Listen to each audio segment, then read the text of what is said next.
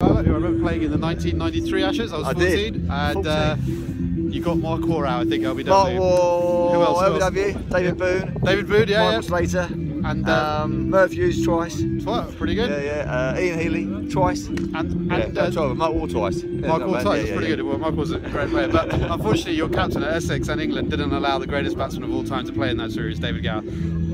Uh, but, uh, 93, he might have been gone by then, mightn't he? No, no, no. Mark he was still very good then. Thank you. Good, yeah.